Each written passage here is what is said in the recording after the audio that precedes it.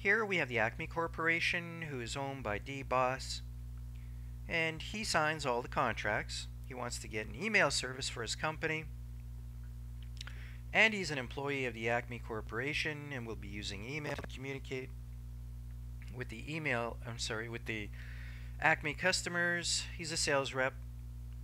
Mr. Boss wants the email service to be available most of the day, seven days a week, with minimal interruptions, which sounds reasonable. And in this simple scenario, we've identified five key assets that we want under control.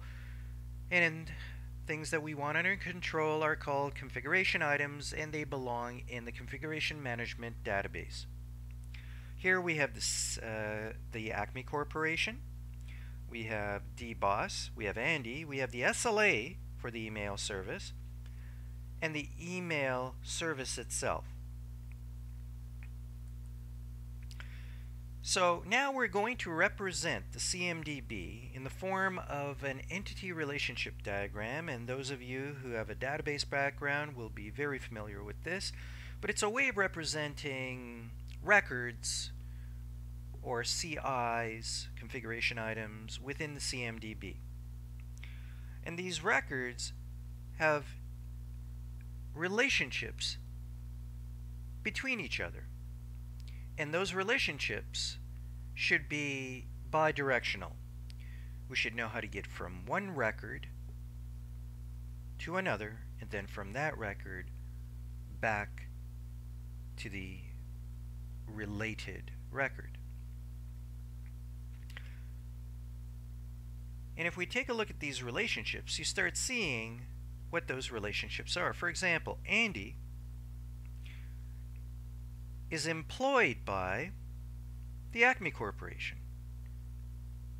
And in the opposite direction, the Acme Corporation employs Andy. That's a very important relationship, and we have to put that in there. These relationships are critical to the success of the CMDB. Remember, without these relationships, this represents an inventory database.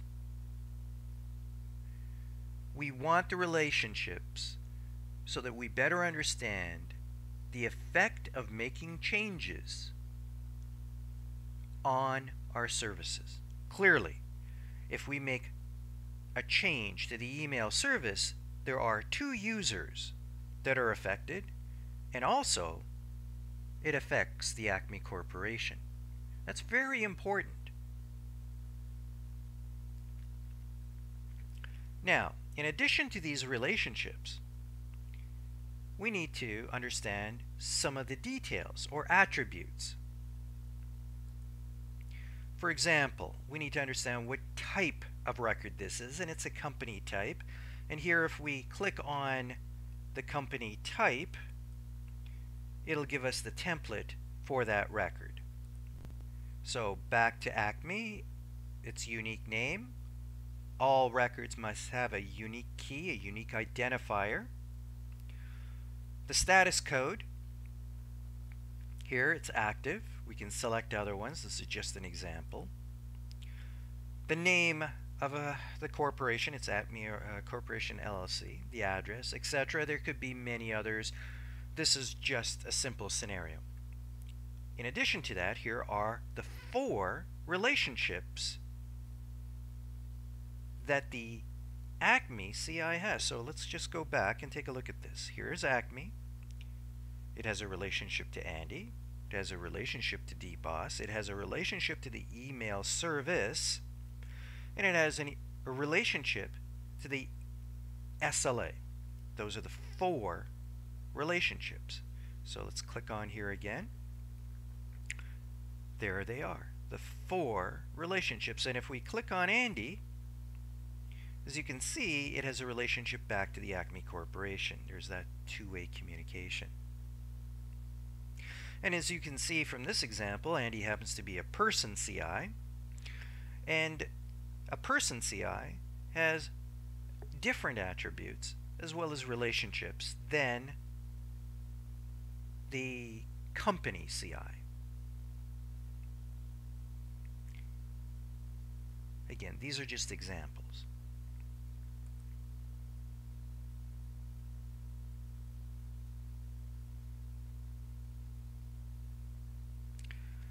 Very good. So you start seeing how the CMDB is created and what those relationships are.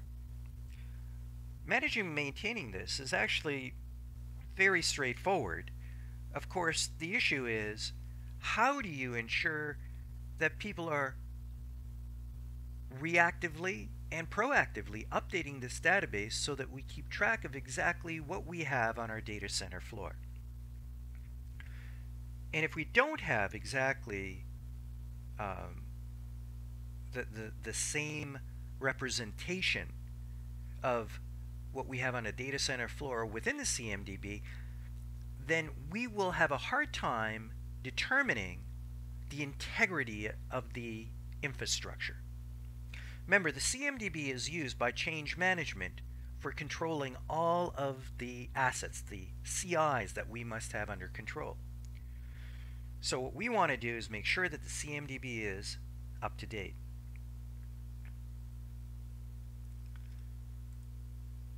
If we were to add a new CI, then clearly we must put into relationships to that new CI. For example, we have a laptop that Andy's apparently going to receive, and we're, we're going to have to identify relationships between this laptop and various other CIs. So if we click on laptop over here, you can start seeing those relationships, those four that we've identified. But in addition to that, there could be more at, uh, relationships that we may want to add to our CMDB. CIs that we want to add to the CMDB. For example, we may want to keep track of the operating system, the Windows XP operating system, because we may have purchased a certain number of licenses. Maybe keeping track of a service pack level, but because we don't pay for it, maybe that shouldn't be a separate CI, but an attribute. So it doesn't need to be under control. So it doesn't need to be a a CI. And he's going to be using email, so he needs MS Office 2010. We certainly need to keep track of how many of those licenses we need. So as you can see, this these records start representing what we have in our infrastructure to try to keep track of exactly what we have to manage and have under control.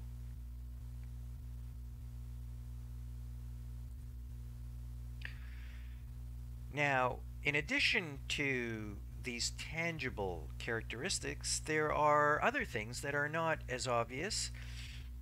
Of course, incident record is one of those. An incident record, problem record, change record, documents, etc. also need to be represented in the CMDB because we must have these under control. An incident record is a CI in the CMDB. And we need to relate this CI, if we have an incident, let's say with this laptop, with the person who called it in, for example. So if we click on this incident record, here the attributes are very different. These attributes would represent the fields within an incident record or a remedy trouble ticket, for example. And these relationships are are represented through CIs. So we wouldn't want to type in the user's name because we could make a typo. We should really have it related to a CI that exists that exists in the CMDB.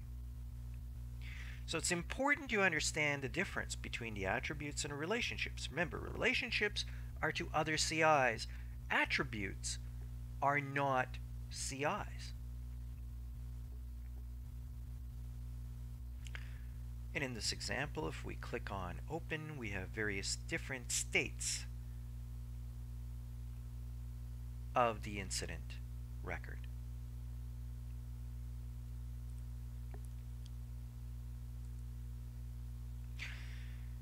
So how do we control all of this? That becomes a challenge, especially when we have new projects. This is another representation of the CMDB.